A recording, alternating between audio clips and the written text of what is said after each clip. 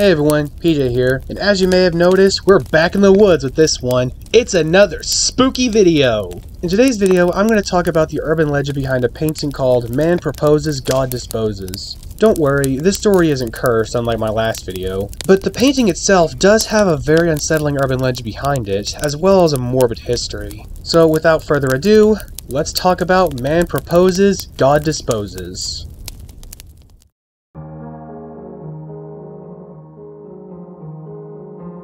Man Proposes, God Disposes is an oil painting done by English artist Sir Edwin Landseer in 1864. The painting was inspired by Franklin's Lost Expedition, which we'll talk about more in depth later on. The painting shows two polar bears at the site of a shipwreck in a rather morbid scene. The bear on the left is gnawing on a piece of cloth, and the bear on the right is eating what appears to be a human remains. Some people claim that what's left of the ship resembles the Grim Reaper holding a scythe. The painting is meant to show humanity and civilization defeated by nature, and is a commentary on the crisis of British triumphalism in the 19th century. The phrase, man proposes, God disposes, is a translation of the Latin phrase, homo proponit sed Deus disponit, from the 15th century book, The Imitation of Christ, written by German priest Thomas à Kempis. The painting was featured at the 1864 Royal Academy Summer Exhibition, where Lady Jane Franklin, the wife of Franklin's Lost Expedition's captain, attended and found the painting to be offensive.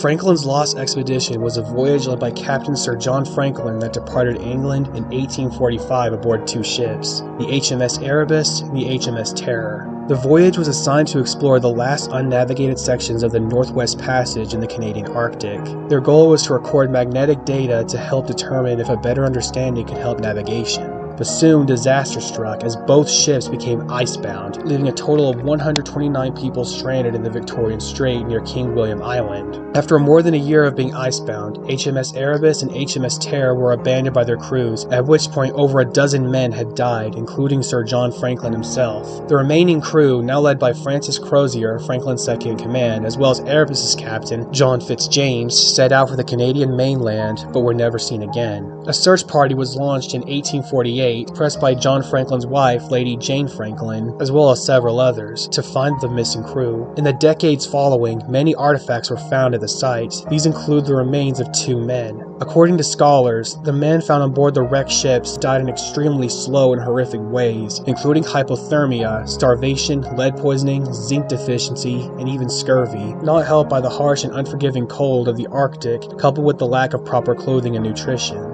There was also evidence that some of the crew members had resorted to cannibalism. Man proposes, God disposes is a morbid depiction of what might have happened to the remaining crew.